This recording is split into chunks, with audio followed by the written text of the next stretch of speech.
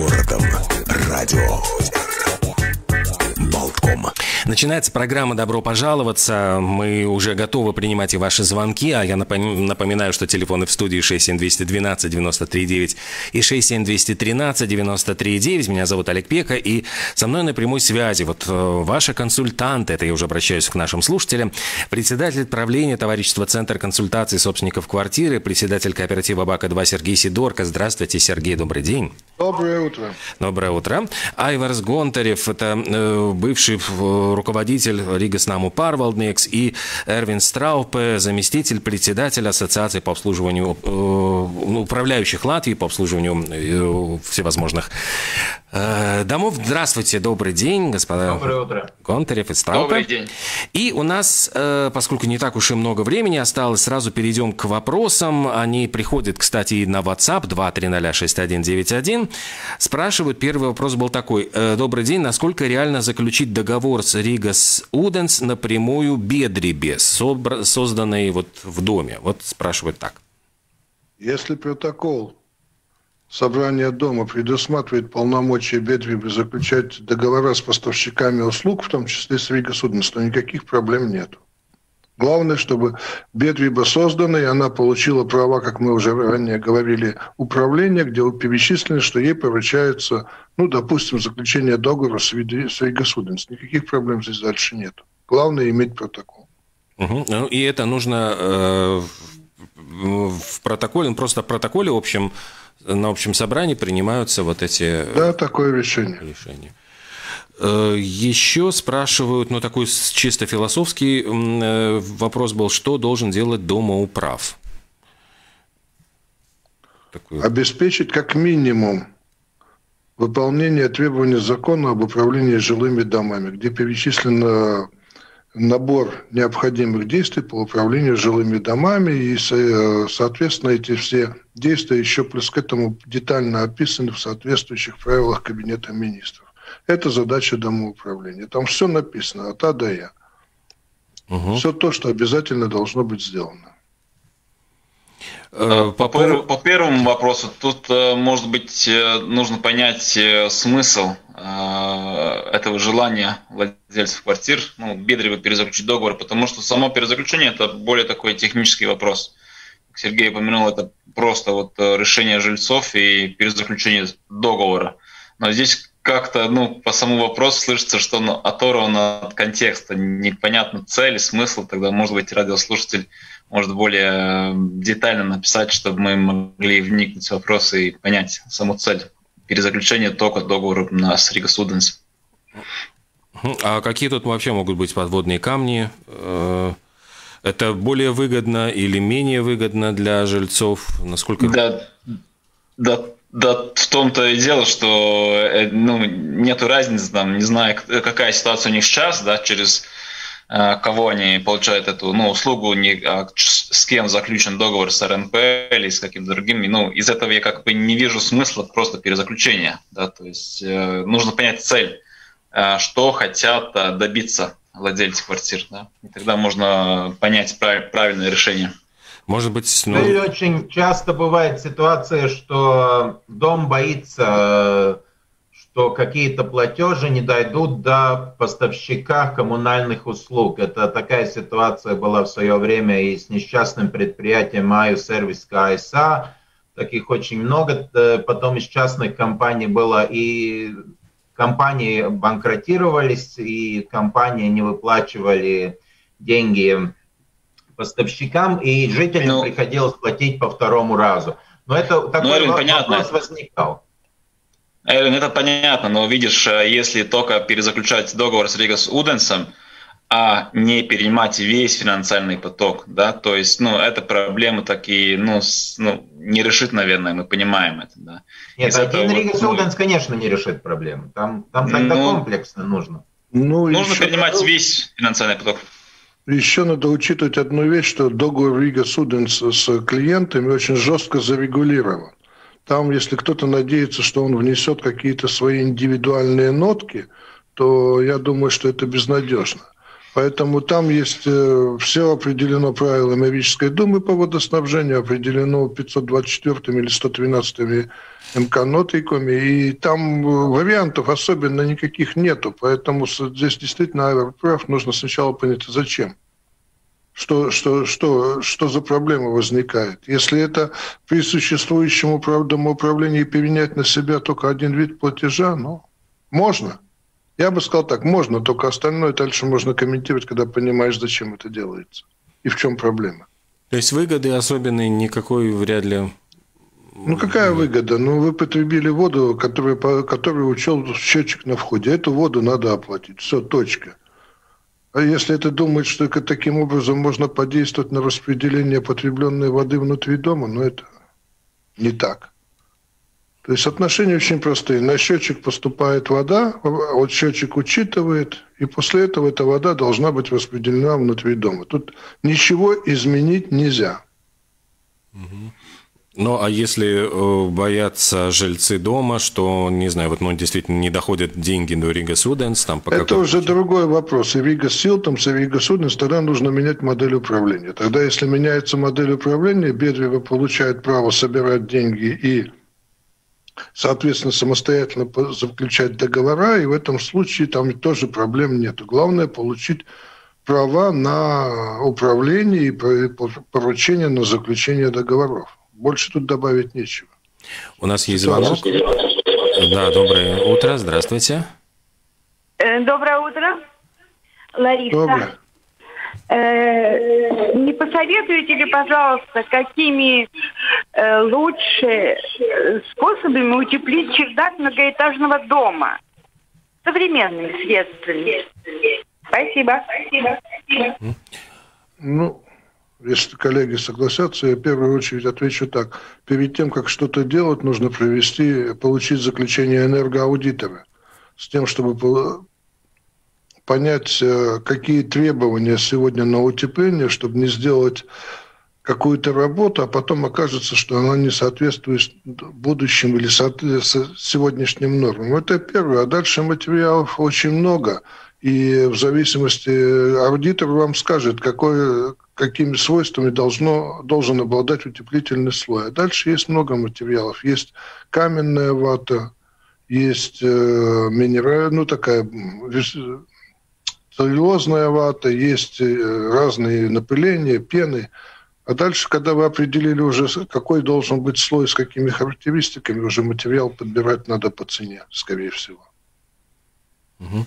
Есть что-то добавить к этому ответу? Э, я напоминаю, 67212-93-9, 67213-93-9. У вас есть возможность э, задавать вопросы как напрямую, так и присылать их на номер WhatsApp 2306191. И вот у нас остались еще с прошлого WhatsApp, э, с прошлой передачи по поводу курсов для старших э, по дому. Но что вот сама ходила на курсы, нам обещали от Дома управления льготы.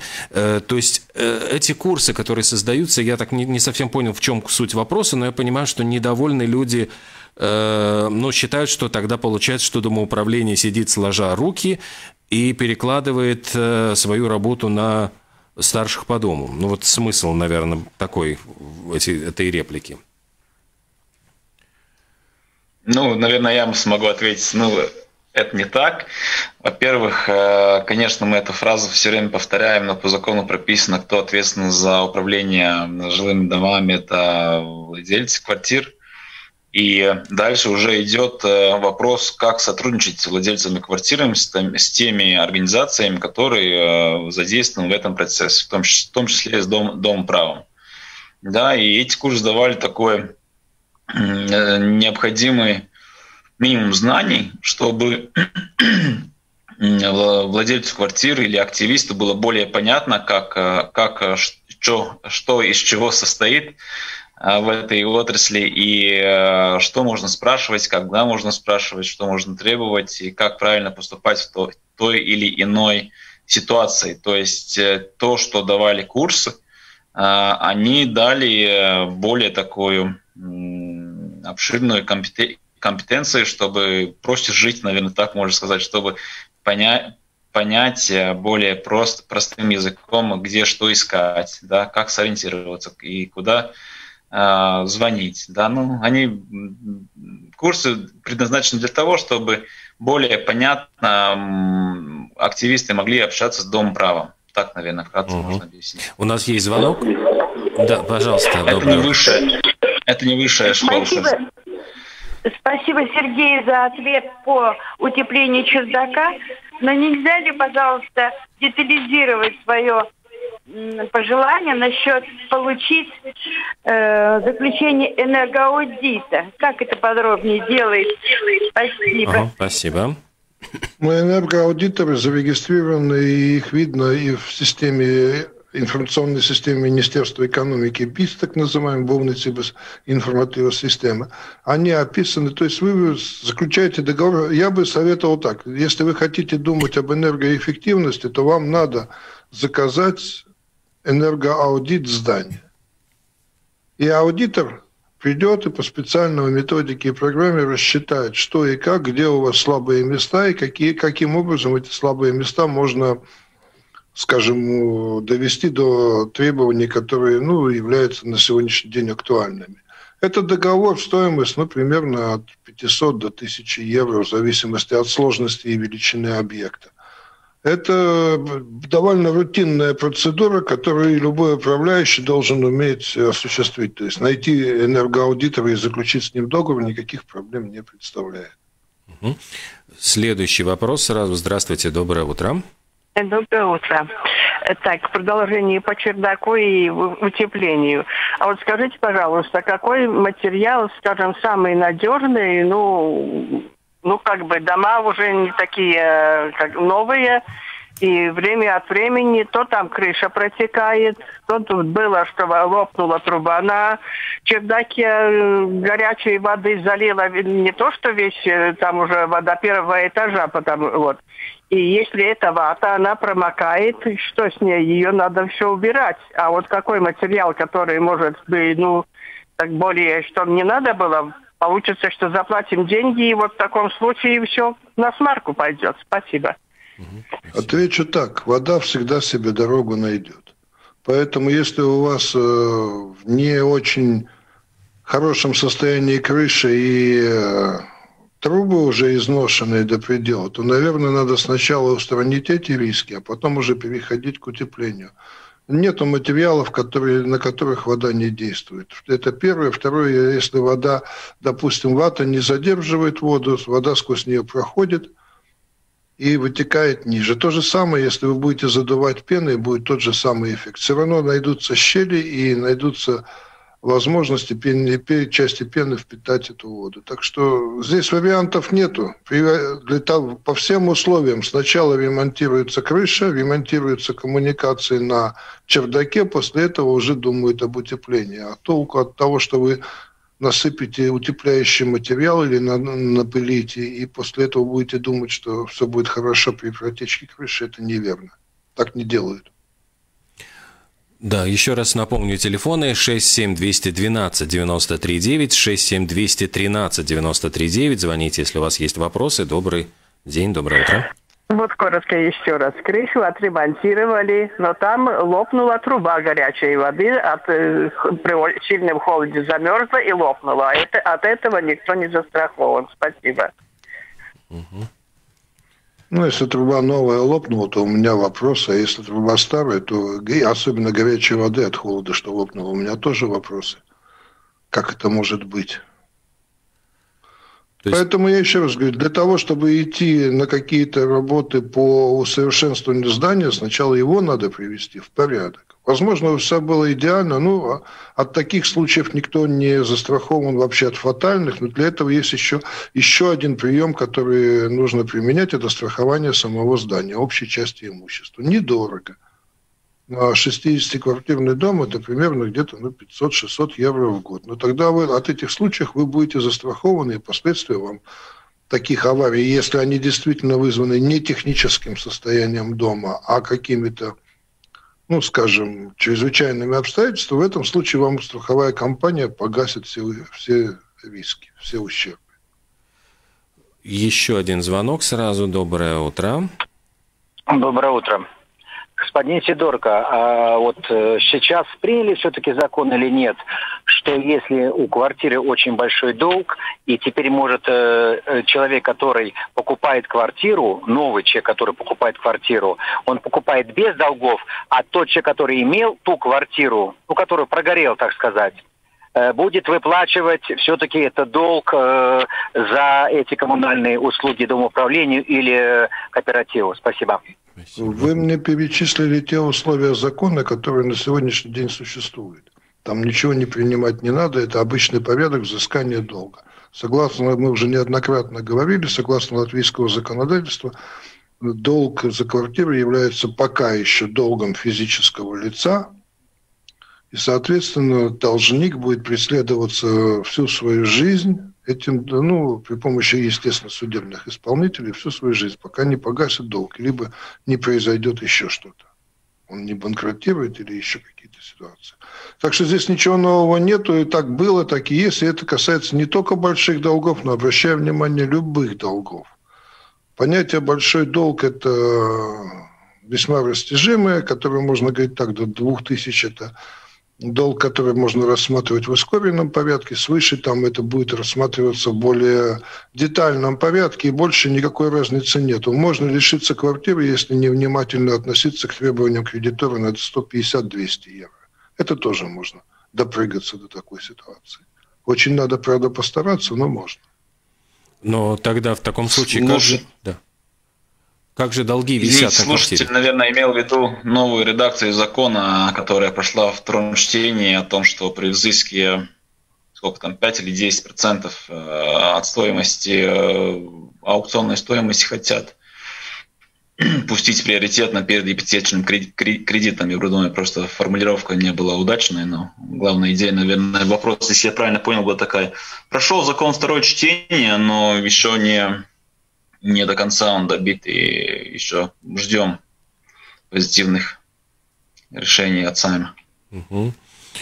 Просто у меня тогда вопрос, а тогда почему на доме висят долги, например, вот неоплаченные за коммунальные услуги, э, за там тепло, за воду, за, за прочее, и если вдруг продал квартиру в доме многоквартирном человек, и получается, что новые жильцы и весь дом все равно продолжают ну, висеть на доме вот эти суммы. И продала, будут обязаны оплатить оставшиеся да. жильцы. Потому что по закону, кто является стороной, заключившей договор с Рига Силтом, с Рига Суденс и другими поставщиками? Общность собственников квартиры или по-латышски копии все договора заключены от имени общности. Общность – это такая штука, которая существует, начинает существовать с момента разделения дома на квартирные собственности и прекращает существовать тогда, когда дом, ну, квартирные собственности ликвидируется, то есть дом сносится. Весь этот период, неважно, кто физически является членом общности, Иван, Петр или Сергей, это абсолютно неважно. Важно, что все обязательства, они должны быть исполнены этим, этим составом людей, которые в данный момент находятся в этом доме. Поэтому таков закон, и пока другого здесь не видно.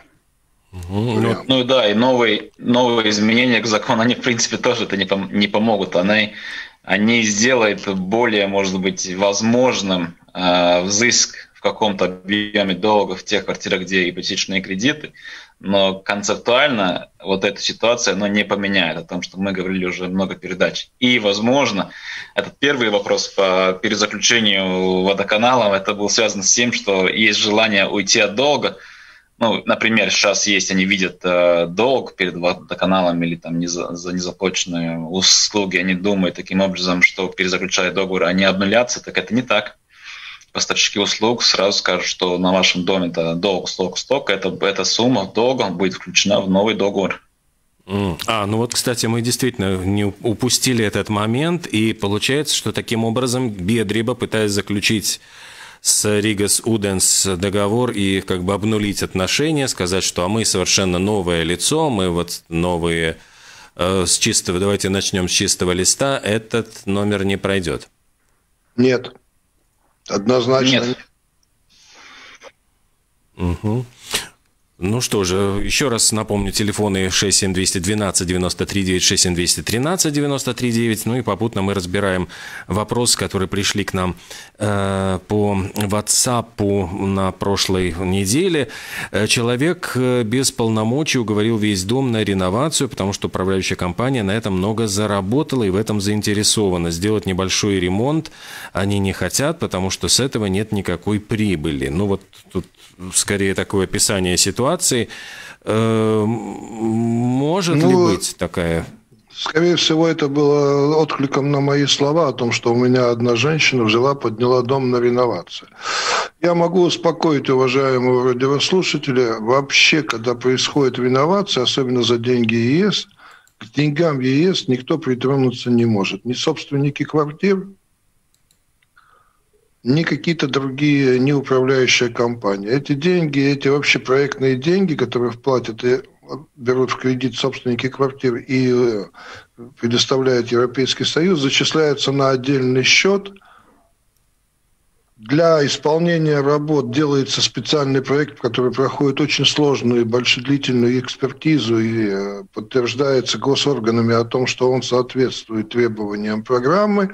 И далее выбирается на основе конкурса исполнитель, а деньги зачисляются на счет исполнителя при акцепте со стороны заказчика, при акцепте со стороны э, этих же контролирующих органов и акцепте банка. То есть там столько контролирующих организаций. Самое главное, что эти деньги не поступают в оборот или к ним никаким образом управляющий подойти не может. Это первое. Второе, за этим слышится только одно. Принимать решение должен кто-то другой, должен, должен кто-то другой, при этом он будет очень много навариваться. Вот такая логика мне непонятна, потому что на самом деле я бы провел здесь параллель с автомобилем. В конце концов, есть технические условия эксплуатации автомобиля, и только собственник может принять, он будет он регулярно менять масло, ремонтировать автомобиль или нет. Пришел... Так и здесь. Да, тут очень пришли у нас вопросы в WhatsApp, я тут заглянул тоже. Если дерево на тротуаре корнями начало врастать в частный дом и ломать фундамент, куда обратиться, чтобы его спилили? Э, вот Анна Мария нас спрашивает. Или можно ли потребовать компенсацию на ремонт фундамента с э, Рижской думы? В первую очередь, э, такие деревья – это забота собственника земли. Значит, выяснить, а кто собственник земли. Рижская дума, собственники квартир, либо частное лицо. Это первое. Второе. Собственник земли отвечает за то, чтобы, э, ну, за зеленые насаждения на своей территории. Значит, нужно обратиться к собственнику земли. Дальше, если эта земля принадлежит вам по приватизации, то вы должны обратиться в специальную службу, так называемые арбористы, они дают заключение о том, насколько это дерево вообще там законно находится, насколько оно мешает, не мешает. Это специалисты по зеленым насаждениям. И после этого нужно получить строительное управе разрешение на вырубку или там подрезку или еще что-то этого дерева. Такова последовательность. Угу. Звонок. Здравствуйте, пожалуйста. Я очень быстро. Меня немножко не поняли, я неправильно выразился. Вот квартира пустая, умерли люди, наследников нету. Квартира достается государству. Там долг примерно 2-3 тысячи евро. Квартира продается с аукциона. Кто гасит эти долги? Вот что я имел в виду. Спасибо. В случае с государством никто. Мы в прошлый раз об этом говорили. В случае, если имущество является выморочным и получает его государство, то никто эти долги не гасит, гасят собственники квартир. Все, точка. Это реальность. Ни обсуждений, ни эмоций быть не может. Так есть. Ржавчина в холодной воде. Что делать, спрашивают э, нас слушатели. Ну, я бы сказал так, она, ее, она постоянная или нет? Здесь вопрос такой, что ржавчина или желтизна в холодной, в, в, в холодной воде, да? Да, в холодной.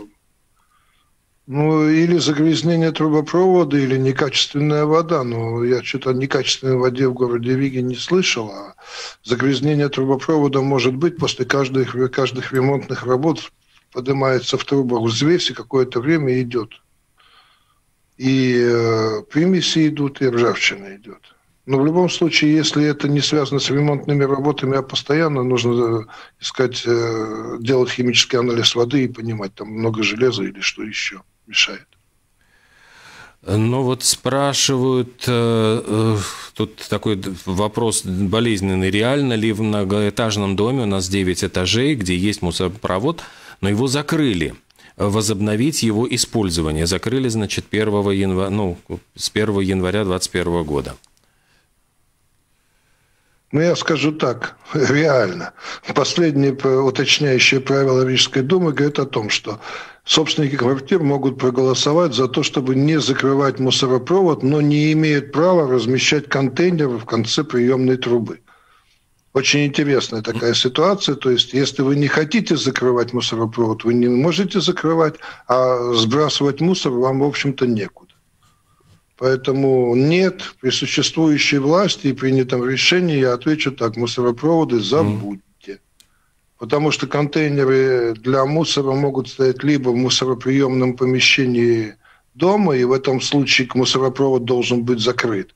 Либо их нужно выкатывать, а что то куда вы будете сбрасывать, я не понимаю. Ну, на пол, значит, туда в помещение мусоропровода, потом всю эту грязь нужно будет кому-то вынимать и убирать. Не, не, нет, нет.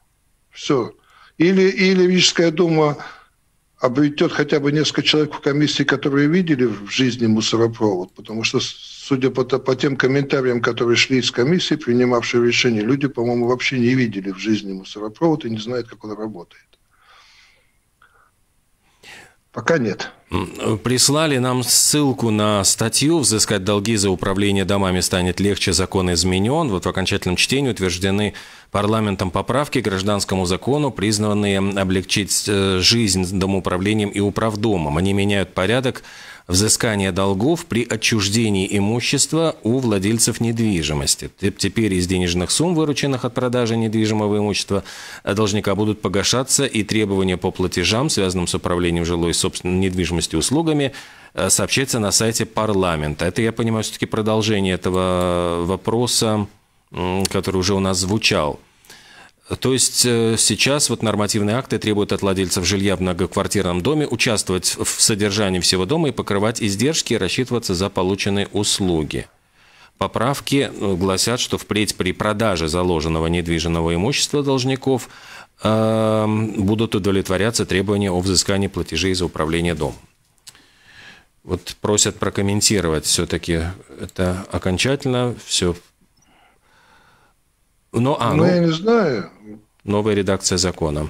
Ответ очень простой. Как только это будет опубликовано на сайте Ликум.лв, как э, вступившая в силу, сразу обрадуемся. Статья это еще не является фактом того, что закон пришел. Как сказал Айвар, второе, второе чтение, да, поправки принципиально они утверждены. Третье чтение не предполагает каких-то крупных изменений, но тем не менее я не слышал, чтобы этот закон вступил в силу. Угу.